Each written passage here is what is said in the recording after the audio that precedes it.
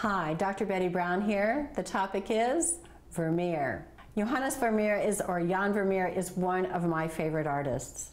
He creates, he created images that are so right, so perfectly crafted that they almost make you gasp when you see them.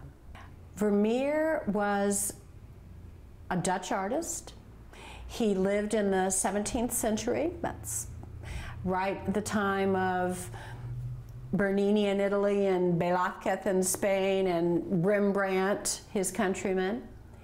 He created small paintings for the most part of everyday scenes, of people doing everyday activities like a geographer looking at the globe, thinking about mapping, a woman weighing a pearl, a girl just simply looking at the artist with a pearl earring.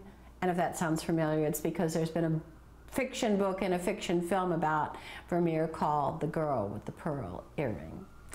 And Vermeer used uh, an optical device that was the grandfather of the photographic camera. He used the camera obscura to create his images. So the reality and the very precise spatial configurations that he gets were helped by this tool that he used. Kind of like using a ballpoint pen rather than a feather dipped in ink. You can write faster with the ballpoint. Vermeer could draw the spatial configurations more rapidly using a camera obscura.